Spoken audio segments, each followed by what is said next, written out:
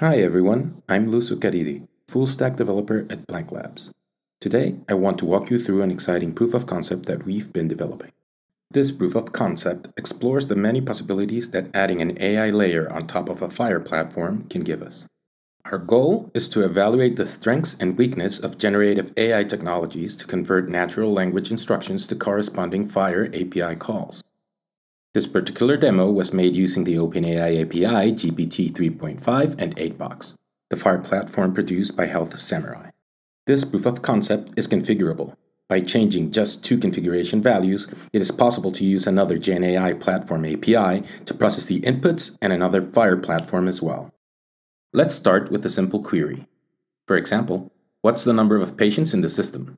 As you can see, the response is generated in simple English.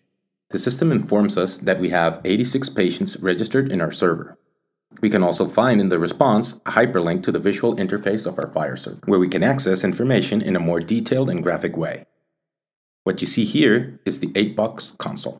We can verify that the number of patients matches what our program answered, a total of 86 patients. Now, let's try to ask more specific questions. To do this, I will select a patient. Now I'm going to copy the patient's ID to get more information on them. As you can see here, the program returns some basic information about the patient, containing data such as name, date of birth, address, and a little more. Again, there is a hyperlink in the response to be able to view this from the Aidbox interface. In Aidbox, we can corroborate that the patient's information is correct. Let's ask another question, but now with a little more specific information about the patient. For example, let's ask for her name and her age. Once again, our program quickly returns the information about the patient according to what we ask. Okay, now let's put the basic information aside. Let's ask for the patient's health condition. For example, the last medical observation saved on our server. In this case, we see that the last observation recorded of the patient is her height, as well as the date it was saved on our system.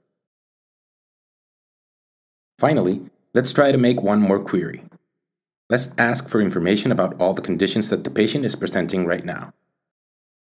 This time, we can see listed five conditions that the patient is presenting, as well as a new hyperlink to see the details of each of the conditions in the Aidbox interface. So that's it, folks. We're excited by the potential that this proof of concept has to offer. We look forward to receiving your comments and questions. Thanks for your time and attention. For more details or if you want to explore more about this POC, do not hesitate to contact us.